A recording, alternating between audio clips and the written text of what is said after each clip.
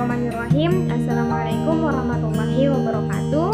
Perkenalkan, saya Afrianda dengan NIM N1D1200018 Saya dari program studi Sastra Indonesia Fakultas Ilmu Budaya Universitas Halu Oleom Saya di sini akan membacakan beberapa pantun dengan yang berasal dari Wakatobi khususnya pada Pulau Tomia dengan menggunakan bahasa daerah yaitu bahasa Tomia.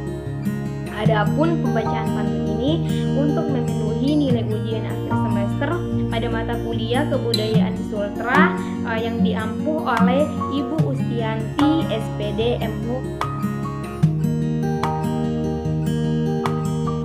Adapun pantun yang pertama yaitu mengatiloka kemotaa kostala kene kemotaa asi karasina tumbuh. Karena kita itu tumbuh ini raka. Yang artinya masak berbeda dengan yang mentah. Kasihan kerasnya hidup, seperti kita hidup di dalam neraka.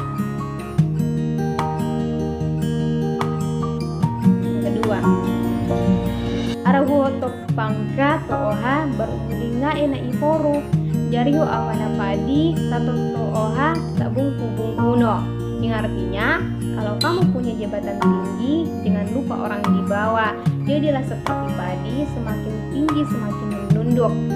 Uh, demikianlah uh, ini uh, pembacaan pantun dari saya dengan menggunakan bahasa Tulia uh, mohon maaf ada apabila ada salah kata. Wabillahi taufiq walidayah wassalamualaikum warahmatullahi wabarakatuh